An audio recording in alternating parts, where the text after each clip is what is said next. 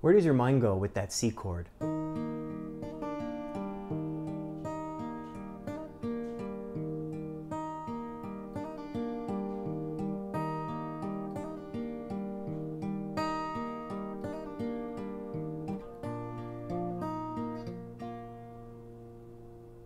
Okay, just chill for like a few minutes. I'll make this quick, okay? Just chill. Just chill. Pretend you have nothing else to do. Pretend that the only option you really have right now is to sit, is to listen just for the next few minutes. It's the only option you have. There's nothing else to do, okay? Sit, sit, sit, sit, sit, chill, chill, chill, chill, chill. That C chord reminds me of the mountains I'm seeing right now. It's beautiful. Still in Victoria, hanging with Vanessa. I have the place myself, but she might walk in soon. We're at the top floor studying. And I'm doing this, this paper on microglial cells. It's a cell basically when we get cut, we get injured, something happens to us, and inflammation rushes to the source, right? We need some extra blood there, we need repair cells. Microglial cells head down to the injury and help repair and you know get rid of damaged tissue, etc. Microglial cells can also create neurodegenerative diseases like Alzheimer's, Parkinson's, MS because they're constantly turned on. And where there is no damage, they go get it. They're really good at synaptic pruning and they're like getting rid of old neurons and shit like that. But when they're on all the time, they're doing stuff that's so not beneficial to the entire body. They don't rest. They're on all the time. I saw that Amy Schumer has Cushing's disease. And you've seen Perry, I think, in another video, the palm Pomchi that we have. He has Cushing's disease too. He's like this wide. He's a freaking sausage. Cushing's disease is when cortisol, the, the stress hormone that comes out of your adrenal glands right above your kidneys, is on all the time. It just doesn't turn off. And in small doses, regular doses, healthy doses, cortisol is actually an anti inflammatory. When it's on all the time, it's inflammatory. Well, damn it, Scott. This sounds like the body is really good at keeping homeostasis and it needs to be. And all these problems are a cause of like some kind of un, uh, imbalance. Oh, you okay, Perry? Oh, you all right, bud? Want to come up here? We're talking about you. Think about it. So, I'm getting to the point. Microglial cells, too much, terrible. Just the right amount, great. Cortisol, just the right amount, great. Too much, terrible. Okay, why are you so hard on yourself? You're on all the time. There's no rest. I believe that you may be hard on yourself because you believe that's the only option and the best option, maybe even the most efficient option to motivate. You're on all the time. You're the Cushings, you're the microglial, you're just on. And this is the only way I know. I've, I've been on the whole time. I've had to make my way through life. Maybe you had a lot of responsibilities as a child. Maybe you don't have a lot of support right now. So the only way to motivate yourself, as you know now, is I got to be on. I can't rest. I can't take a break. And if I'm too kind to myself and give myself a little sense of ease, decrease the pressure a little bit, what do I feel like? I'm not getting enough done.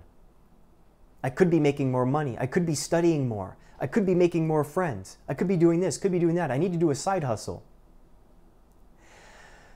Being always on is leading to disease. Now, I'm not one of those people that's like, oh, disease has one source, and that's inflammation. Oh my God, give me a break. When I say disease, I mean maybe even, I won't say disease, maybe unhappiness, right? That negative thinking that you've had and, and you believe you need in order to get things done.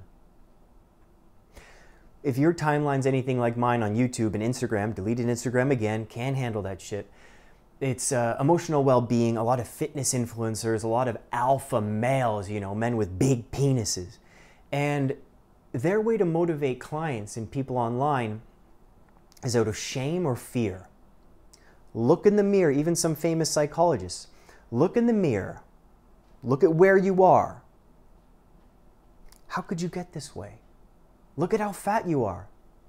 What mistakes are you making? How could you let yourself do this to you? How could you become this? Your body is a temple. How dare you turn it into a mishmash, mush mush? So, by hating yourself right now, you're going to motivate yourself to go to the gym, to eat healthy, to go to therapy, whatever it is. Great. What about fear? Fear is if you don't start going to the gym, then future generations will suffer because if you have kids and you're fat, they're not going to respect you or they're going to be fat themselves because you haven't adopted any healthy values. And when they move out of the house at 18, they're never going to talk to you again. Oh my gosh, I'm so scared. You get into this future anxiety. And if this sounds familiar, it's because you've probably done it. Millions, billions of people do it, and it works. It works. But not long term. A minor. Mmm, now it's sad. It doesn't work for the long term. Actually,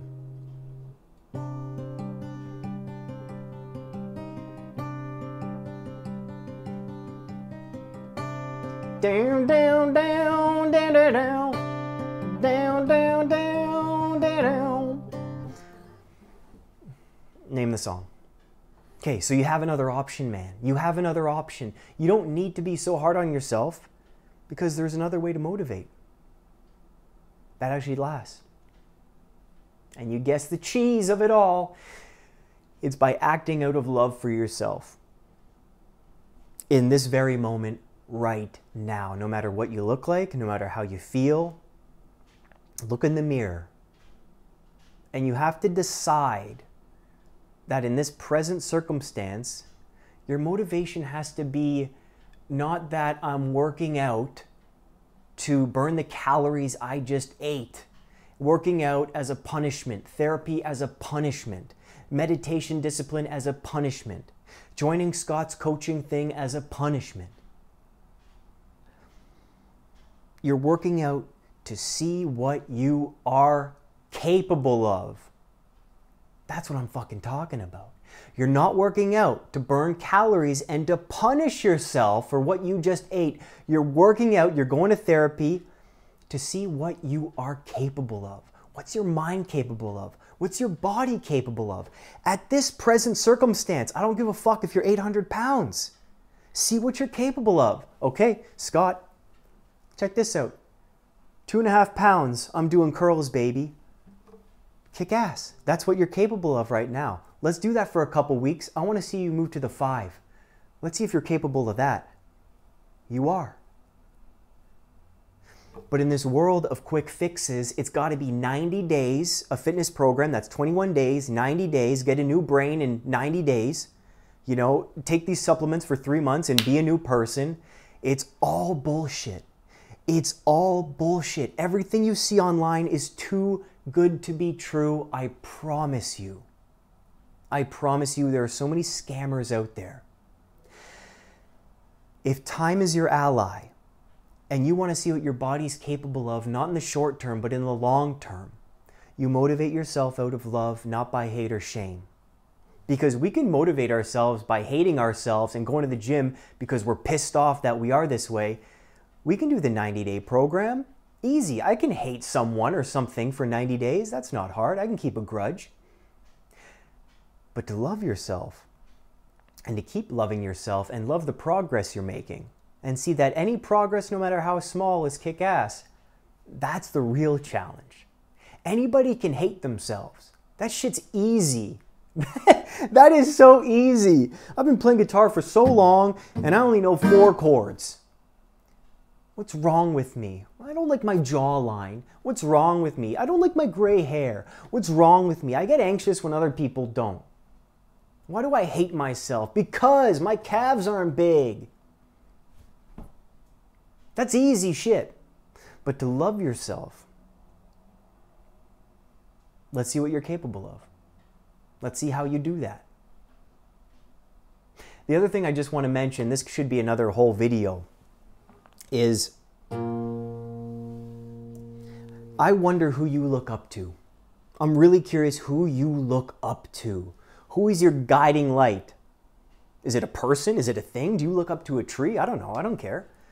Who or what do you look up to?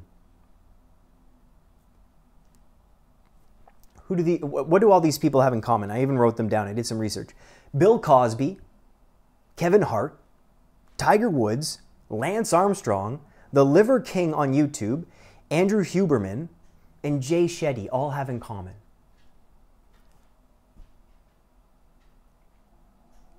They've all become morally bankrupt in some way. They've made massive, massive mistakes. And I'm judging them not as people, but remember what we talked about. It's different judging a person rather than judging a decision. And I can judge the decisions of all these people. Kevin Hart, worldly success still cheats on his wife. Liver King, lied about being on steroids for years, and all his fans thought he was natural, trying to get as big as him. The dude's on steroids. Lance Armstrong hid it for years. Andrew Huberman, this just came out that he was cheating on his girlfriend or wife, sleeping with multiple women at the same time. He has one of the biggest podcasts. People look up to this guy, especially men, with all of his neuroscience and, and advice. Jay Shetty, uh, plagiarizing all of his content, and then this whole thing about, you know, running a pyramid scheme in his online courses, making millions of dollars. Who do you look up to? Who do you look up to? Because I guarantee you that if it's someone well known, a celebrity, something like this, I had another one, David Letterman, on here, cheated on his wife as well. Why are we admiring morally bankrupt people who make really, really stupid decisions? I'm sorry, you can go your whole life without cheating on your wife. I know at this day and age it's hard to believe. I would call that an alpha male. I wonder who you look up to. I wonder if you see these people in this in this realm of perfection that you're trying to reach. That's why you're hard on yourself because you're trying to get to this sphere of enlightenment that they've all attained because you see the clips, right? You see their discipline, you see the happiness and the laughter and what they've created in their business. Trust me, I've been the same way. And no matter what you do, you fall short. No matter what you do, you fall short. And they fall short too, in big ways. It's not that they skip the gym for a week, it's that they hurt people that they love and people that love them. So, why are you so hard on yourself? Is it who you're looking up to? And is it the way you motivate yourself to get things done? Ask yourself. So, what would motivation look like if I truly loved myself? Question one What would motivation look like if I truly loved myself? Okay, and you know, remember what you're capable of, not about uh, burning calories. And this goes for therapy too, right? This goes for therapy too. Like, I'm not going to therapy because I, I feel guilty for not self improving. It's because you want to see what you're capable of as far as understanding yourself and others. And who do you look up to? Who do you look up to that you believe is just morally perfect that's, that's here on earth? Is it somebody online? Is it, you know, a celebrity, someone in your family? And know that they make mistakes. Know that the celebrities make big mistakes. Okay? And that's it, man. Motivate yourself out of love and not hate.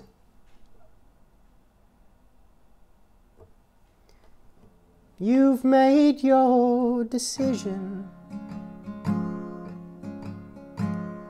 Now get up and leave.